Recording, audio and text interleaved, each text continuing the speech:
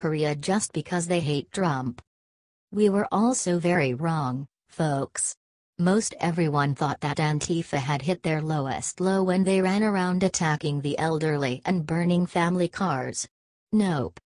Now these lunatics have found an all-new ally in their resistance of President Trump which shows just how insane their ideas really are. Antifa is defending Kim Jong-un's fascist regime and saying Donald Trump is the real problem. So let's get to the meat of this whole thing. You have two major Antifa organizations, Refuse Fascism and Worker World Party, who both hate the president.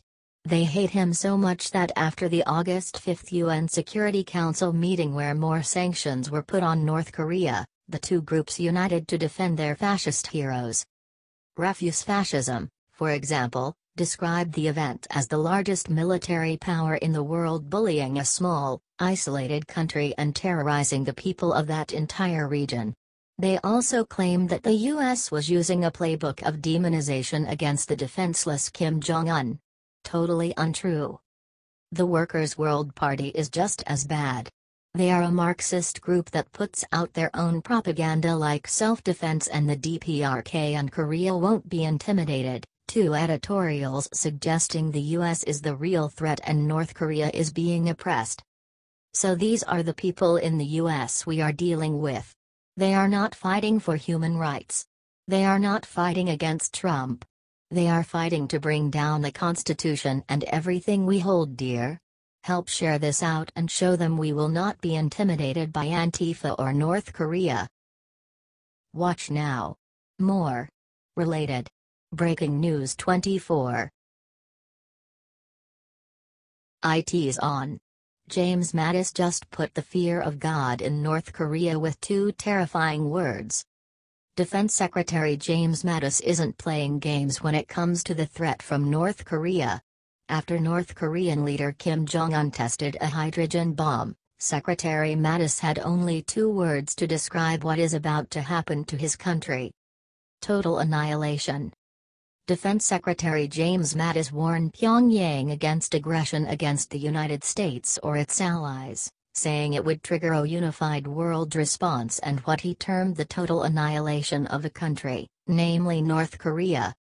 Any threat to the United States or its territory, including Guam, or our allies, will be met with a massive military response, a response both effective and overwhelming, Mattis told reporters in the White House driveway. Kim Jong un should take heed in the United Nations Security Council's unified voice. All members unanimously agreed on the threat North Korea poses and they remain unanimous in their commitment to the denuclearization of the Korean peninsula. Because we are not looking to the total annihilation of a country, namely North Korea, but as I said we have many options to do so. Due to a failed nuclear agreement made during the Clinton administration, North Korea's nuclear capabilities have grown extensively, North Korea advanced its program throughout the Bush and Obama administrations, bringing the U.S. to the risky situation it now faces. Unlike Obama, James Mattis and President Trump are men of action, and they will not sit idly by while American lives are put at risk. Those days are over. Watch now. More. Related. Breaking News 24 Journalists won't sleep tonight after seeing what Trump is about to do this Tuesday. According to Politico, President Trump will end the Obama era program that granted work permits to undocumented immigrants under the DACA program. Trump is fulfilling his promises. The administration has worked tirelessly to scrap the program despite the opposition from the Republicans in the House and Senate. According to two sources inside the White House, Trump has been deliberating on the decision for the past couple of months. It was Jeff Sessions that finally convinced him to terminate the program and put in the hands of Congress. The president is expected to make the announcement on Tuesday. Speaker Paul Ryan has already been told. Florida Senator Marco Rubio said that Congress needs to protect the Dreamers. My hope is that as part of this process we can work on a way to deal with this issue and solve it through legislation, which is the right way to do it and the constitutional way to do it, Rubio told CNN in June. Representative Steve King disagrees and thinks that Trump needs to act quickly on DACA. He has expressed frustration on Sunday that it hasn't gone into effect yet.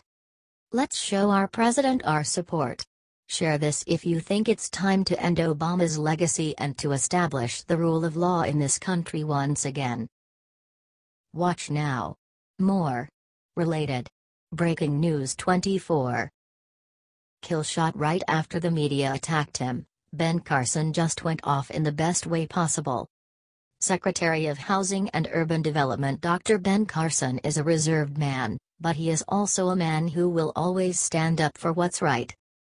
On Wednesday New York Magazine issued a report saying that asked whether there was anyone home at HUD saying Carson's department was empty and quoting an anonymous source that said Carson was unqualified and not respected as a leader. Carson put the magazine on blast in an interview on Fox News Special Report with Bret Baier, saying, I would say that you should ring the doorbell before you conclude that nobody's at home.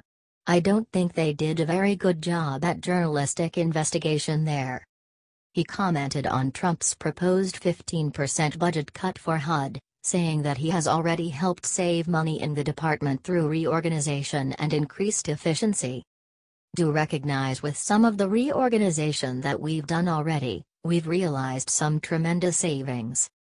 This is a concept that is foreign to a lot of people in Washington, the whole concept of efficiency and saving. Whoa. A government official who is finally sticking up for American taxpayers and trying to run an efficient operation. I never thought I'd see the day. Carson continued saying even long-term bureaucrats are going to be a part of the reorganization. So we are actually reimagining the way that HUD works right now from the bottom up, including the vision of the people who have been there 10, 20, 30, 40 years, rather than just imposing things upon them. He gave a knockout interview, check it out here. President Trump has picked some awesome people for his team, and Ben Carson is easily one of the best. He's helping the government cut down on waste, putting the media in its place, and doing it all the grace and class. Love Ben Carson. Give him a share. HT The Hill. Watch now. More. Related. Breaking News 24. Madonna finally leaves America after threatening Trump, look where she's going. Madonna thrives on being weird. This Saturday, Madonna showed all her fans a major announcement on her two posts on Instagram. The 59-year-old Trump-hating maniac is officially moving to Portugal. She is apparently working on a movie and making some new music. Here is the image she posted of her standing over two tree stumps with her legs spread open over a boat sailing through it. Legs open is a posture that Madonna most likely assumes often. She then revealed the following three announcements. The energy of Portugal is so inspiring. I feel very creative and alive here and I look forward to working on my film Loved and making new music. Comma began Madonna. This will be the next chapter in my book. It's time to conquer the world from a different vantage point, she wrote. Madonna said that she made the move to Europe because of her mental health. That sound accurate? I used to be a basket case but now I live in Lisbon, she said. According to the AP, her spokesperson said that the singer said she fell in love with the country after ending a tour there in 2004. Madonna is currently directing a movie called Loved. This is a perfect title. Because nobody in America loves Madonna. I've always felt oppressed. I know a lot of people would go, oh, that's ridiculous for you to say that. You're a successful white, wealthy pop star, but I've had the S kicked out of me for my entire career, and a large part of that is because I'm female and also because I refuse to live a conventional life. I've created a very unconventional family. I have lovers who are three decades younger than me. This makes people very uncomfortable. Remember what Madonna said about blowing up the White House? Watch that below. Let's hope that Madonna stays in Portugal. Share this everywhere if you hope she doesn't ever come back. Watch now. More. Related. Breaking News 24. Doctors don't want you to see this 42 year old's secret to looking so young, it's in your kitchen. At first glance, you might think that she's a college student. False. Laura Hsu is about to be 42 years old. Her secret to staying young is very simple and it is shocking thousands of people. Laura is an interior designer that was noticed by the public because of her sister Sharon HSU. Sharon is 35 and an actress. She was invited to an entertainment show in 2015.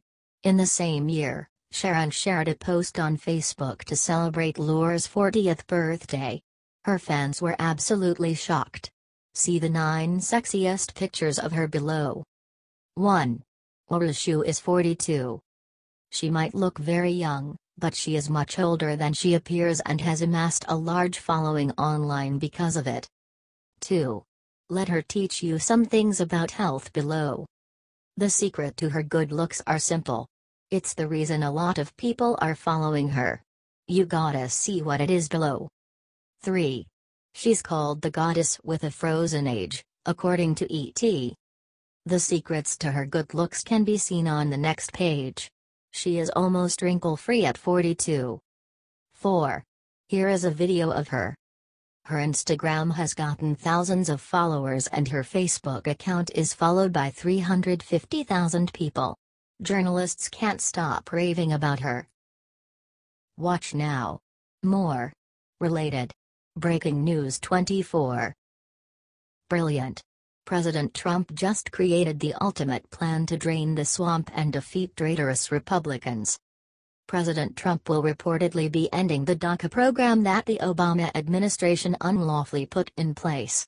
The program grants work permits to illegal immigrants who arrived in the country as children. President Trump won't be ending the program immediately, however. Instead, Trump put in place a genius strategy to expose traitorous Republicans who face elections in 2018. President Trump is delaying the termination of DACA for six months. The six-month delay means DACA still ends, but Republicans have to choose between virtue signaling or their loyalty to the president during their primaries in 2018. There is literally no way they can stay silent on the issue when it's pushed back so far. Neither the House or the Senate have enough votes to get a saved DACA bill on the president's desk, nor do they have the votes to override a veto. By pushing the termination of the program back six months, Trump is forcing GOP hypocrites to expose themselves right as people start paying attention to the elections in their state. The DACA program will end in April, only a month before May, which is when most primaries are held. There is no way the issue won't come up during debates, town halls, and press conferences. Every single Republican in Congress railed against Obama when he made this unconstitutional move. Now we will see who really meant it. If ever there was a way to drain the swamp, this is it.